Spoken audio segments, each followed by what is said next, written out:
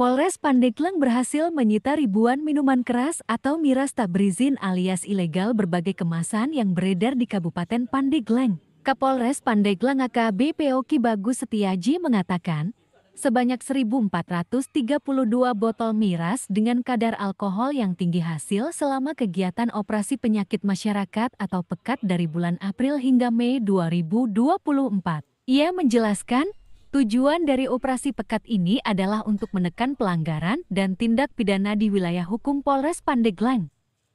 Kita bisa lihat bersama adanya balapan liar maupun beredarannya minuman keras di wilayah hukum Pandeglang. Kami berdasarkan aturan yang ada maupun perda yang ada, kami sudah mengandeng pemerintah daerah untuk melaksanakan operasi KKYD yang ditingkatkan.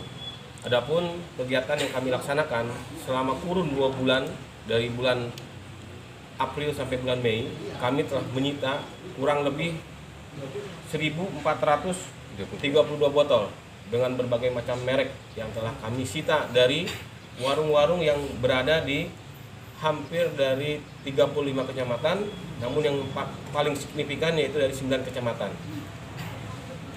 Tujuan dari operasi ini adalah untuk menekan terjadinya pelanggaran maupun tindak pidana di wilayah hukum Pandeglang. Mereka tidak memiliki perizinan yang harusnya mereka miliki. Itu izin edarnya ya? Iya.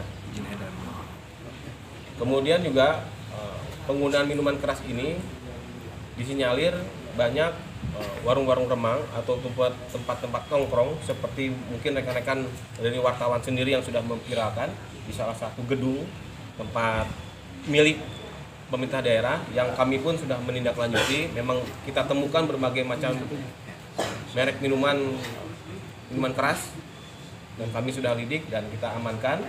Kami pun sudah memberikan efek jerak kepada para penjual minuman keras ini untuk tidak menjual kembali. Manakala ditemukan kami akan menindaklanjutinya dengan tindakan yang lebih tegas lagi.